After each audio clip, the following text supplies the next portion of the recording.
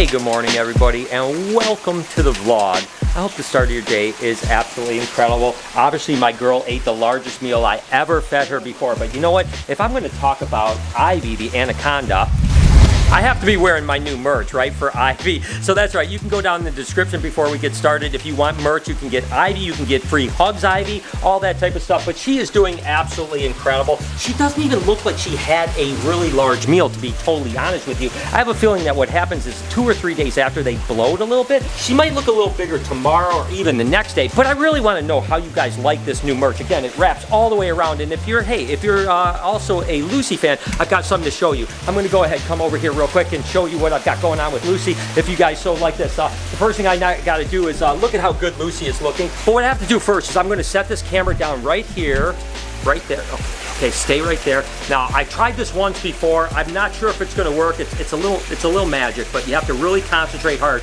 Okay, ready? It worked, it worked. All right, you can actually get Lucy gear too. So we got Ivy, we got Lucy. These are only gonna be available for a limited time. So uh, link in the description, go get you some if you wanted to. Uh, thanks again for letting me start the vlog this way. Let's push our problems aside. You guys know that I've been dealing with some issues, so I'm gonna try to push our problems aside and just have an absolutely amazing day together. Guess what time it is? time, time, time, first animal we have here is actually a corn snake that is het for blizzard. Now the blizzard corn snakes are actually just kind of a white snake with the pink eyes, just like this little monkey right here. Absolutely gorgeous. And what that is is actually an albino, or what they call a muted black corn or a charcoal corn. So it's lacking the yellow pigment too, because a normal snow corn that's a black corn will have yellow and that gives it its pattern. You take away the yellow and there's no pattern. So this is actually a gorgeous corn snake too. Look at the colors on her. Whoo, dog, I tell you what, and that's a beautiful clutch of eggs right there. We'll go ahead and get Mama back in her cage real quick. Good job, Mama. We'll clean her cage up, get her some fresh water, get her all settled in, and we'll take a look at these eggs. We've got two, four, six, eight, ten, twelve good eggs. And again, that's a het for blizzard bred to a blizzard. So we're gonna get blizzards, we're gonna get albinos, we're gonna get muted charcoal corns, and even some normal corns that are all het for blizzards. So uh, beautiful way to start the colubrids egg day. This next clutch is just actually an Okeetee corn snake. And let's see what she's got going on in here. It's a pretty snake, not such a pretty clutch. The clutch doesn't look like it's too good, uh, which is okay. She looks really good. We'll get her all cleaned up, get her water as always, and we'll take a closer look at this clutch. Like I said, it looks like a mixed bag where we got some good eggs, we got some bad eggs. You can definitely tell the difference. You know, obviously one, two, three really good eggs to these kind of sluggy, bad, yellowy, kind of squishy little M&Ms almost, like uh, little good and plenties, I guess is more like it. But uh, anyways, we'll just go ahead and take these bad eggs off of here. We got three eggs in this clutch. Again, not every clutch is going to be beautiful. Not every clutch is going to be huge. Not every clutch is going to be fertile. That's part of the breeding season. All in all, it's been an amazing year. I mean, obviously, you can see all the eggs behind me, how good it's been. So uh, we've got one more clutch to pull today. By the way, two things that do help with the mental health part of my journey is that, number one, I'm doing stuff like this and working with the animals, I do get distracted and I start just really getting into it. It's really awesome. The other thing is, is that uh, the universe has balanced itself out and my yellow dots are back on track. So let's hope no one touches that yellow dot thing uh, and I know everything's gonna be okay. Just really quick, I had another clutch of children's pythons hatch out and it's so interesting with the little children's pythons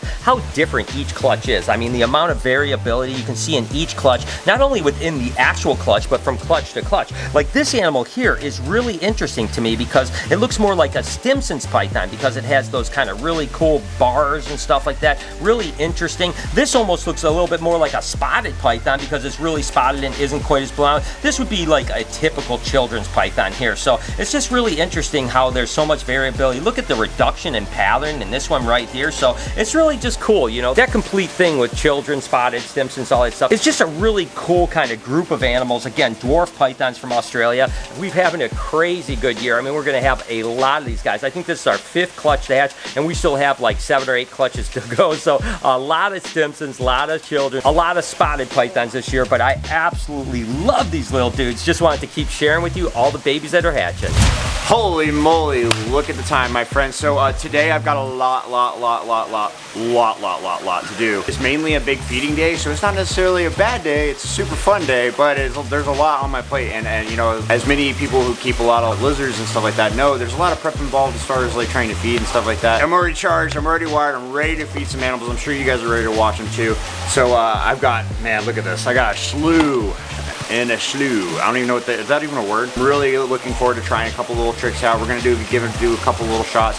Definitely feeding Dowser today. We are feeding monitors today. We're feeding the Mata Matas today. I'm even, like, I'm even go around feeding a couple little bug feeders, show you guys a couple little fun things I've been working on. As you guys know, we're really trying to push the boundaries when it comes to training reptiles. I mean, I think here at the Reptarium, we have such special animals. They're so incredible. And the work that Bruce and myself are putting into trying to train these animals to do things that are kind of out of the box. You guys know that we already have been target training these animals quite a bit, but now what can we do next? You know, Elvis is doing really good with the stop and go technique. Can we continue to do that with other animals? And who knows what the future is? All I know is I want you guys to come here to the Reptarium and be blown away and really stretch your whole opinion of what reptiles can actually do.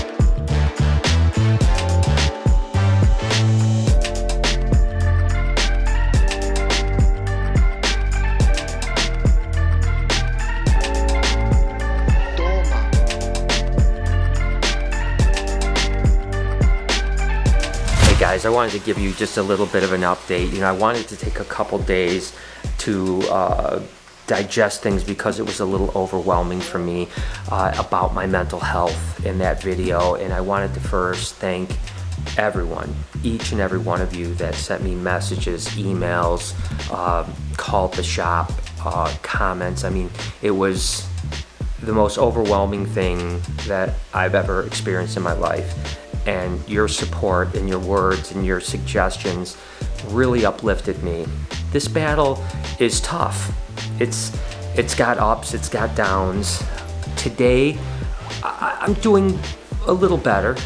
Not great. I feel pretty tired and exhausted mentally. Uh, I feel kind of lightheaded, like I'm walking on air or something like that. Um, but I know we'll get through this, right? Uh, I want to just occasionally update you guys so that you know what I'm going through and also the emails and messages I got that so many of you are dealing with similar things. I want to be here to inspire you, to tell you that we will be better, we will get okay. There will be another side to this. And I just wanted to tell you all how much I love you and how much I appreciate you and how much all of your thoughts and all the things you've done for me does matter. But remember to do that to everybody, right? Because there's so many millions of people that are just like me suffering and be, be that way to them. I want to be that way. And when I get better, which I will, I want to continue to preach the message of loving life and being happy and finding balance and going after your dreams because without happiness, none of it matters. I have everything I could have ever imagined I wanted. A great zoo, family, friends, crew, everything. And my happiness has been so horrible, I can't enjoy hardly any of it. And I know I will again, you know, and I know that I'm going to. And I just wanted to update you guys. I'll try not to bore you too often with these updates, but I just wanted to tell you that I appreciate you. Thank you. I will be okay. Um, It's not going to be overnight, but uh, I'm going to make it through. And, and let me know in the comments if you want me to occasionally update you or if there's anything else you'd like me to talk about. So uh, that's it. Let's, uh, let's get back to some animal stuff. Down here in the dungeon, and that can only mean one thing.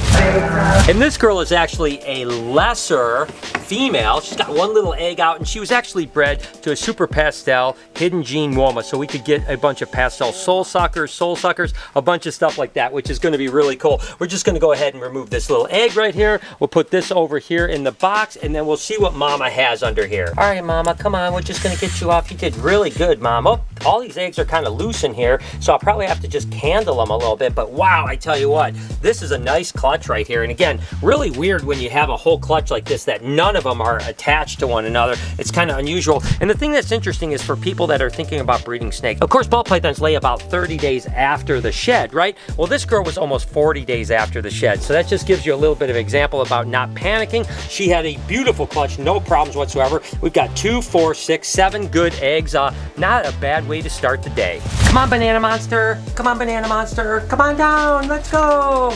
There you go, Bella. There's my banana monster. What are you doing, girl? You know, I tell you, I've been feeding Bella bananas forever. You know, it just is a treat because it's not a good diet for them long term. But, you know, once in a while, giving her a banana as a treat is a really good enrichment thing for her. Plus, it's not bad for her diet to be varied up, for sure. But I had thought about it. You know, I never have actually fed Diddy and Dixie a banana. And I don't know if they like it or not. They're a little bit weird about what they eat, just like Bella is weird about what she eats. And you know, typically she wants three bites and that's it. We'll see if she wants a fourth bite or not. But I figure I've got a banana for Diddy and Dixie and uh, let's just go ahead and see what we can do with those guys because they are absolutely incredibly crazy. And as you can see, three bites and Bella is done. Let's go see if Diddy and Dixie wants to eat. So let's see if these guys like it. Do you want a banana? Oh, I think he likes it. Dixie, do you want? Uh-oh, I think that he's going crazy with it. I think they love it. Oh my gosh, they're banana monsters too. What are you doing, silly? Oh my gosh, that is so absolutely incredible. Again, this is the first time. You want that one, baby? There you go, bud. There you go. There you go. Diddy just wants the peel. Aw, you guys are loving it. it's the craziest experience to have lizards like this, guys. I mean, look at this. There goes Diddy. Oh yeah, I think they're happy. So I guess uh, Bella isn't the only banana monster in the house these days. There you go, Diddy. Tell you what, guys, uh, it's it's insane. These animals are just the most insane pair of animals I've ever seen. They're not only jealous of one another, constantly wanting to eat what each other want to eat and stuff like that, but that actually drives them. It's good from a behavior standpoint because if Dixie is jealous of Diddy, we can get her to do things just out of jealousy. They definitely love bananas. So now we just have one more treat we can give them when people come to actually feed them here at the Reptarium. Uh, absolutely incredible. As a matter of fact, if you guys don't follow me on TikTok yet, I'm posting a really cool video of uh, Diddy and Dixie climbing up Bruce. You guys will definitely want to check that out. Again, TikTok, Brian Barczyk, go check that out. This is pretty interesting. This is actually a Het Hypo Blood Red and then a het for scaleless tiger. This is the first scaleless tiger clutch that we've had. I'll show you that male real quick. It's just kind of an interesting pattern. It's This male right here, again, just kind of has that kind of almost like tigery look to it, just a little bit different than a normal scaleless. Don't know if it's gonna be something genetic, but this is the first time that he's actually fathered a clutch, so hoping for some good eggs. Fingers crossed. Yep, all right, good eggs. And you can see, look at how beautiful this female is right here. That's a really, oh, she's got an egg in her though. Look at that. And unfortunately, that egg is way up high, so we can't can't express or massage out that egg. What we gotta hope happens is that she'll eventually push that egg down closer to her vent and then eventually we can actually help get her out. This is uh, this is something that you don't wanna see for sure because when they're higher up like that, it's usually a much harder time to get them out. So I'm just gonna put that girl in here, let her get settled in and stuff like that. We'll give you an update in the next couple days. Hopefully she'll push that egg down. We can get the egg out of here. In the meantime, it's actually a beautiful clutch of eggs. At least that's one thing that's really good. And again, this is the first time this male has fathered any eggs. So there's two, four, six, eight absolutely beautiful eggs right here. So here in another couple months, we'll find out if that tiger is something that passes on. That would be pretty cool. And that wraps up eggs for the day. My boy RJ's been out all morning. Hey, RJ, what's going on? I know. He's like, no, Dad, don't get me, don't get me. Come on, RJ. Ah. Oh, oh, RJ. Time to go back, buddy. Gotta go. Oh my gosh, he's gotten so big. Let's go back in your pond, sweetheart. Let's go. You had a bunch of time to have fun out and about, but now it's time to go back home. Okay. Whew. He's getting big. Pretty soon he's not going to be able to run around because uh, I don't think I'll be able to pick him back up to get him back in pretty soon. And that's right, we have this huge clutch of ball pythons. This is actually a het for albino ball python right here, and it's just bred to an albino male. So half the clutch on average should be albino, half the clutch will be het. We'll see what mama has going on, but I'm telling you what guys, this looks like a big clutch of eggs. That, I, have got to imagine at least will tie our 12 eggs. Maybe it'll even surpass it. I'm not sure. Nevertheless, Mama is not happy. Oh, come on, Mama. It's all right. She's just, she's protecting her eggs, so I've got to be a little bit careful with her for sure. Uh, make sure she doesn't bite me while I'm taking these eggs away. Come on, Mama, it's okay. I'm just gonna go ahead and get these eggs out of here and we can count them up. Oh my gosh, that is a big clutch of eggs. So we'll go ahead put these in here and then get the rest of the eggs. Oh my gosh, that is, a, I was not expecting this huge of a clutch. I mean, she certainly looked gravid, but I didn't think she was gonna be that gravid. Oh my gosh, that is a big clutch of egg. Get these over here and uh, I'm gonna separate this one little egg out because I won't be able to close the box. Thankfully, they're pretty fresh in here, so they, they separate out really easy. So we have two, four, six, eight, 10, 12 eggs. Well, we didn't beat it, but I knew we were gonna hit at least 12 eggs. That's right, 12 eggs, that is awesome. And again, you know, even just producing six albinos in here, or eight albinos, whatever the number is, that's awesome because those are such beautiful snakes. I love producing animals like albinos because they just make such great pets and they're so absolutely beautiful. So 12 eggs, good job, mama. Again, guys, thank you so much for all your support. I hope that you enjoyed the video. If you did, here's a playlist of a bunch of baby snakes because, you know, we're gonna have a lot of babies hatching out pretty soon. Could you also support my podcast channel right up here? It's called Checking In. I think you'll like it. On this side, you can subscribe to this vlog channel. Turn your post notifications on if you don't mind. Have an absolutely wonderful day. Remember, be kind to someone, and I promise I'll see you tomorrow.